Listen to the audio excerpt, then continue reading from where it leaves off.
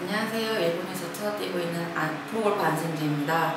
어, 일단 제가 시합을 하다 보면 이렇게 목이라던가 이런 몸의 밸런스도 안 맞고 컨디션이 급다운되고 이렇게 그런 증상이 되게 많아서 지인의 소개로 Ideal Wellness Chiropractic Center에 이렇게 찾아오게 되었는데요. 원장님께서 일단 진찰을 해보시고 되게 쪽집게 같이 되게 잘 집어내 주셔서 이렇게 몸의 밸런스라던가 목이라던가 이런 데를 진찰을 해주시고 교정을 해주시다 보니까 컨디션에 대한 그런 up down 같은 거를 많이 줄어들, 줄어들 수 있게 도와주셨고 그리고 이제 몸의 밸런스도 맞춰서 시합할 때 보통 보면 제가 한 2, 3주 정도 시합을 뛰면 몸이 되게 많이 안 좋아지고 그랬었는데 지금은 그래도 시합을 거의 한 두세 달 정도 몸이 괜찮을 수 있게끔 선생님이 많이 도와주셔서 지금은 시합을 되게 잘하고 있는 상태인데요.